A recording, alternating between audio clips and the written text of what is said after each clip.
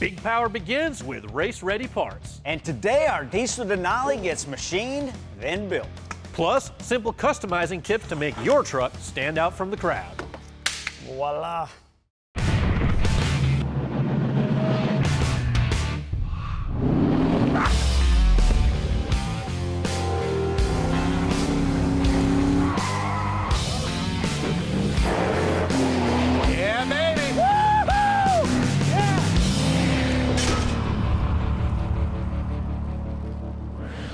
You guys probably remember Dragon Alley.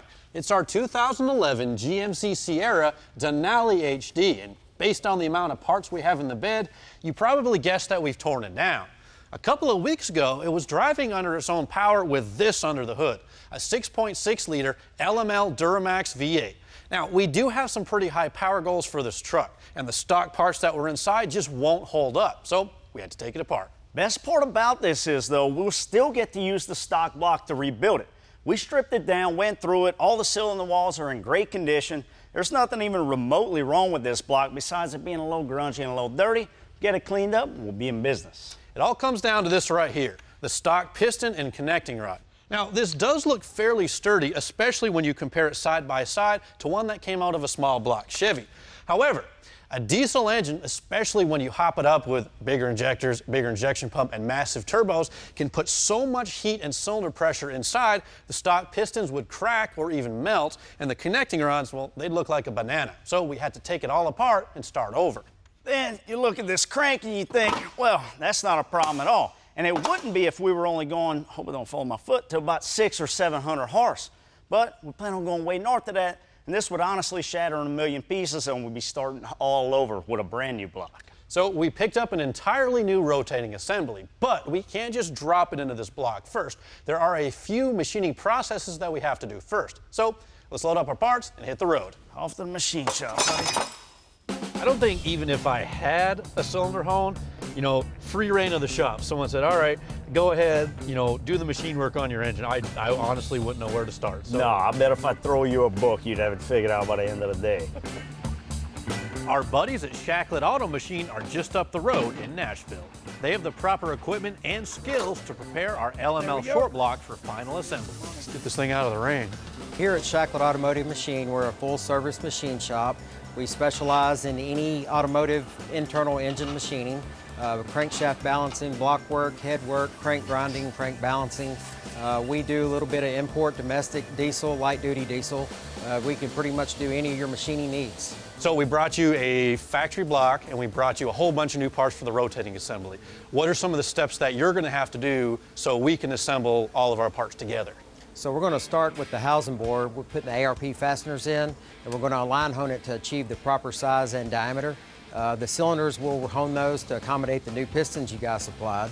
And on the rotating assembly, we'll balance it uh, completely with all the new components. What would happen if we tried to put this thing together without going through the proper machine steps? So if you started to put this engine together without having the housing bore checked, it's a very good possibility the housing bore would be the improper size, causing bearing failure or the crank not to spin at all.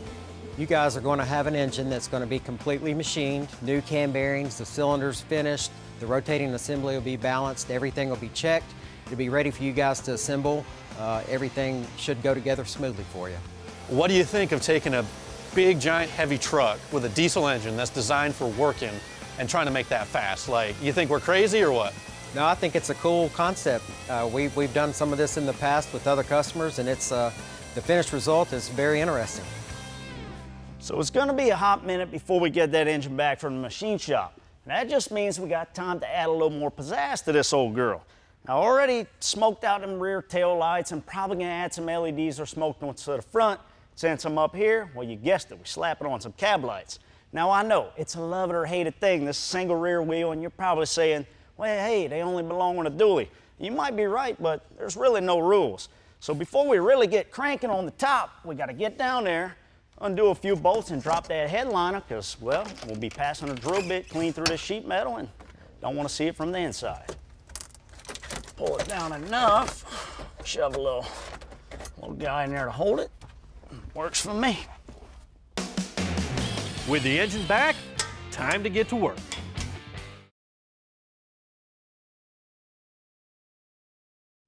We've got our Duramax block back from the machine shop. It's freshly honed, line honed, and they threw in some new cam bearings and stuck it in the jet washer. But the rest of the cleanup, well, that's on us. And the deck surface is one of the most important things that you want to make sure is clean and flat. Now, a lot of guys are tempted to go out and grab an angle grinder with a Scotch-Brite pad on the back of it. Now, this will make the deck surface nice and shiny and it removes a lot more material than people give it credit for. So, you do not want to use this on a deck surface. You can use it on the back of the block to get some rust off the bell housing flange or anything like that. But for a deck, I like to use a flat piece of aluminum and some 180 grit sticky back sandpaper. Spray the deck surface with WD-40 and just kind of go to town flat to make sure that this deck surface gets nice and clean. That way the head gasket will seal and there's no chance your combustion pressure is going to escape. From there, I grabbed a wire wheel and I cleaned up some of the rust, the loose dirt and paint off the side of the block, and I wiped everything down with lacquer thinner to make sure there's no residual oil left. Now, a fresh coat of paint is really not going to make your engine perform any better, but it does make it look better, and that's where we're going to start. I'm using regular old masking tape to keep the deck surfaces nice and clean since I spent so much time preparing them earlier. And once the tape is laid down, a sharp razor blade makes for a nice clean edge. Once everything's protected, I'm throwing down some high temp engine paint, and the color I chose is Black Pearl. I took some time earlier to clean and paint all the cast aluminum accessories that are going to seal up the outside of our LML Duramax. But before I bolt any of this on, I've got to bolt all of this in. Now, the rotating assembly that you choose for your engine is kind of important because these are the parts that support the amount of horsepower that you'd like to make. Now, we have a goal of somewhere around a thousand horsepower. I don't know if we're gonna make it, but on paper, we've got the fuel and we've got the air to get us there. So we're gonna do our best. But none of the stock parts from the rotating assembly are gonna withstand that much power. So we went to Summit Racing and we picked up a completely new bottom end. And it all starts with this guy right here. This is a Callies 4340 forged steel crankshaft. Now this thing is much, much stronger than the stock crank. As far as pistons are concerned, you might be expecting us to go with a forged piston, but they're really not going to give us much longevity on the street. So instead, we've got a Mahle cast piston. This is actually a steel ringland that's cast inside an aluminum piston. These will hold up to 1,000 horsepower and they're much more durable for long-term street use. As far as connecting rods are concerned, well, these will do way more than we're going to ask of them. These are Oliver forged I-beam connecting rods. And the very last thing we got is a new set of bearings. And before we bolt any of these parts in, I've got to check the main bearing clearance over at the block.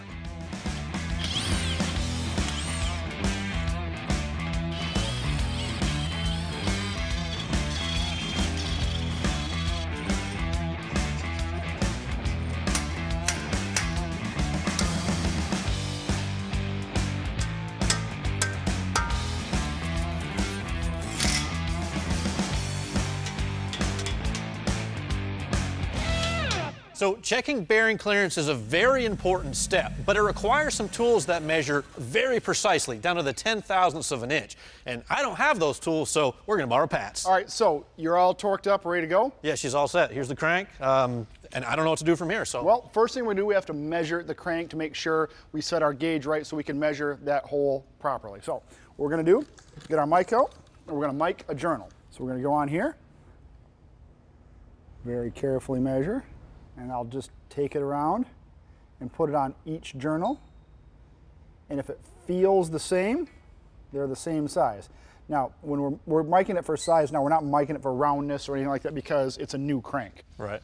They're very accurate. This is a very accurate crankshaft. I already tell by the first three that I've done. So basically what you're doing is you're measuring the exact size of the, the crankshaft, then you're gonna calibrate your other tool, which is called a what? That's, that's a dial bore gauge. So you're going to calibrate the dial bore gauge to that exact size. And what are we shooting for in terms of like clearance? Because we need a, you got a rule of thumb, right? What's your rule of thumb? Rule of thumb on race engines is one thousandths of clearance per inch of shaft diameter. Now we have over a three inch main journal, so that means we need a minimum of three thousandths of vertical oil clearance for the thing to live at a big power level. And I'm led to believe this is going to be a big power level. Hey, you never know what'll happen, right? We've got some lofty ambitions. That's all I'm going to say. Okay, so I have a measurement now on the micrometer, and this is three 146.4. Okay. Okay, so what we're gonna do, we're gonna set this dial bore gauge to exactly what this is, and then what that will be is a direct reference from the journal size. When we put this in and measure inside the actual housing with the bearing torqued in, it will be a direct measurement. So I know I've seen this part before. Right, I mean, this is pretty common. Doesn't matter if it's diesel, gas, and everything being correct, these will all be equal. Yeah, that's really nice right there. Second one, three, three, three, four. The line hone on this is extremely accurate.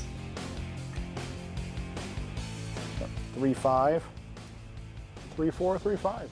All right, you're good to go. The crank is accurate, the line hone, the bearings, everything's great. Come get me when you need to do the rods because it needs to be done. Thought he was at least going to put it together for me. That's actually my job, and I'll take you through it next.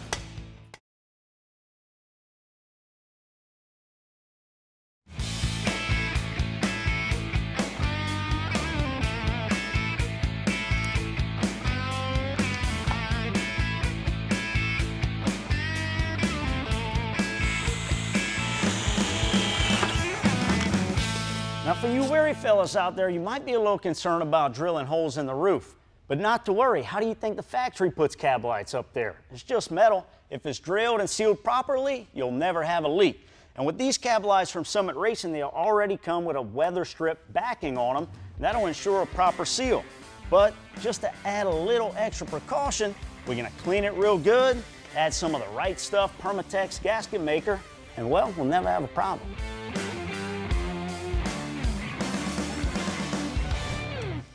Just about every piston kit that you buy will come with a set of rings that require some fine tuning on the gap. Now, depending on your application, whether it's naturally aspirated or forced induction, or even if the engine runs on gas or diesel, well, that gap will be different. So they leave you enough room to work with them all. For this application, we're looking for about 24 thousandths of an inch, and right now it's much too tight. So we've got some work to do to correct that. There are many tools you could use to fine tune the ring gap, like a whetstone, a diamond sharpening card, or even sandpaper, and they'll all do the job just the same, but it is much more efficient to use a dedicated grinder. Ours has a fixture the ring clamps into, and it uses a dial indicator which allows you to quickly and accurately dial in the gap. If you're doing this for the first time, just remember to take it slow and don't try to nail it the first time around. You'll have to put the ring in the bore once or twice to check progress and just sneak up on the finished size. Also remember, the top and second ring have different specs, so adjust your methods accordingly. So one thing to keep in mind when you're assembling your pistons, connecting rods, and your rings all together is positioning is important because there's a very specific way each of these parts has to go together. First thing you want to pay attention to on the bottom of the piston is there's a hole for the oil squirter. Now this thing bolts to the block and it kind of lines up right in that little groove. So orientation of the piston is important and they help you out with a little mark that's imprinted on the top of each piston. This goes towards the center of the valley. Now the same thing holds true on the connecting rod. On one side, there's a heavy chamfer that's ground into the bearing surface. On the other side, it's flat. Now the reason for this is because when you have a pair of connecting rods that are mated together on the same journal, the chamfers go out to mate with the radius of the crankshaft. And finally, the rings. Now, you can spin these things 360 degrees around on the top of the piston, but there's a very specific orientation that the gaps have to be staggered at. Now, there's a chart that's included that'll show you where to put it if you're not sure. So the first thing we gotta do is load this piston up with some rings. The first thing to go on the piston is the oil spring, followed by the oil scraper. Then the second ring, followed by the top. Next, I'll install the first snap ring and clean the small end of the connecting rod. With a chamfer on the correct side, I'll lubricate and install the wrist pin. It gets held into place with the other snap ring, and now all you gotta do is repeat the process seven more times. Over at the block, the main bearings get a coat of assembly lube to help keep things protected on initial fire up. Coming through you, Kemosabe. And the crank is carefully lowered into place with some assistance. Nice and easy. does. Touchdown.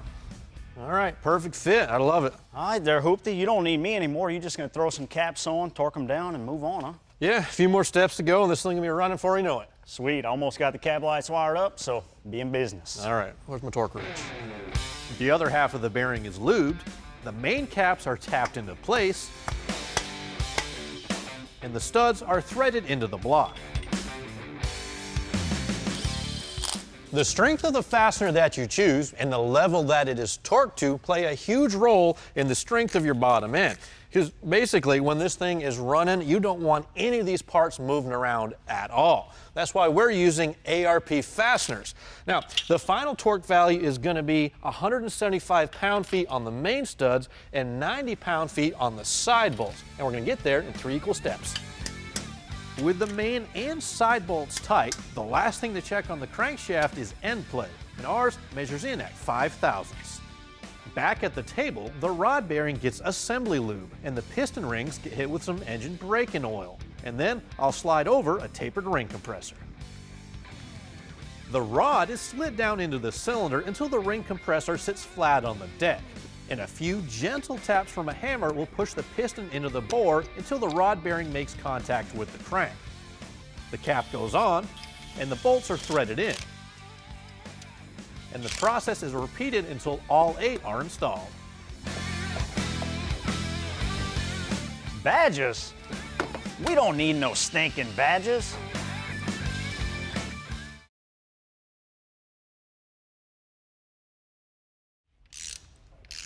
One step I always take after installing each piston and rod assembly is to crank the motor over a couple of times just to make sure there's nothing bound up. You can fix any problems you have right away. Now, this thing spins over perfectly and the rotating assembly is pretty much done. Now, I still do need to torque the caps for the rods, but I'm going to wait until I get the camshaft and lifters in just so I don't have to flip the motor over a hundred times. It'll just save me a few steps. Now, as far as the camshaft upgrade is concerned, a lot of people don't think of it as a first modification when you're building a diesel engine. But when you're chasing really high power levels, it's just as important as it is as upgrading cam in a gasoline engine. Now, we picked up this Hamilton cam from Summit Racing, and it measures in at 192 degrees of duration at 50 thousandths lift on the intake side and 200 degrees on the exhaust. Now, this will do a couple different things for us. Number one, it'll reduce the spool up time of the turbochargers. Number two, of course, it's going to add horsepower. And number three, it's going to reduce the exhaust gas temperature in the engine because it gets more air into and out of the cylinders. Once the cam gear is in place and the bolt is torqued to spec, the lifters also get a coat of assembly lube and slide down into the bores. They're held into place by a retaining plate and a hold down clamp, which finishes up the bottom end of our LML Duramax.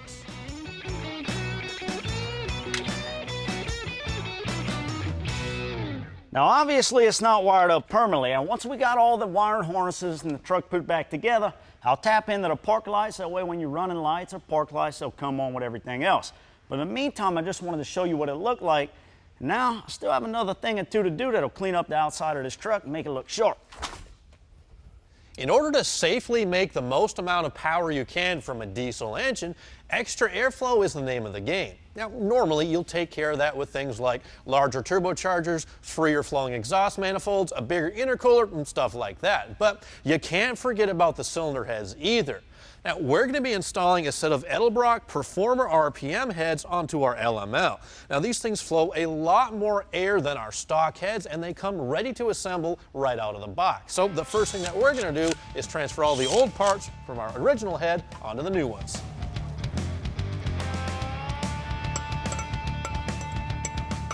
Just as important as the strength of the stud is the method of torquing, and it's critical to apply lubricant like ARP Ultra Torque on the threads of the stud so the most accurate clamp load is applied to the fastener as the nut is turned. With the head gasket in place on the right side of the engine, I'll install two studs to help guide our Edelbrock cylinder heads carefully onto the block. Then, the remaining studs are dropped into place and threaded down and the washers and nuts also get a coat of Ultra Torque. The final torque specs for the 625 head studs is 150 pound-feet, but I'll get there in three equal steps.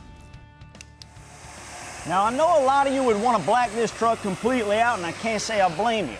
But we already got some polished 22s and after all it's a Denali. So this Denali HD lettering, that's staying.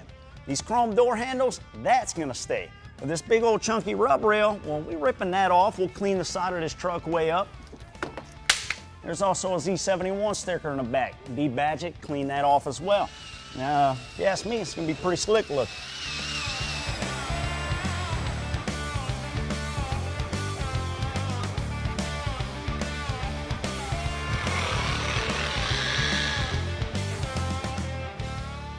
Hey, bud, looks like you got that looking like a complete engine, huh?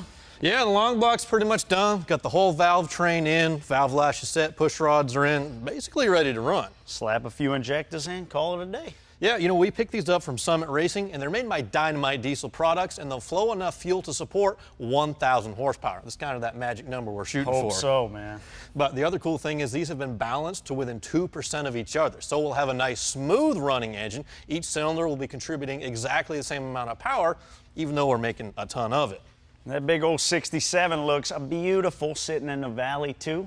Yeah, and then we'll get that 485 off to the side. I just can't wait to feel this thing spooling up. But um, the truck, though, it looks great, way shinier than it was before. Yeah, I didn't realize how bad the paint was until I started polishing out where the uh, rub rails were, and I just got carried away. Couldn't help it. All right, well, we still got some work ahead of us, and if you guys have any questions about anything you've seen on the show today, or you want Austin to polish your truck, be sure to check us out at PowerNationTV.com. Thanks for watching. Catch us next week. So how many hours we gotta do to finish the rest of this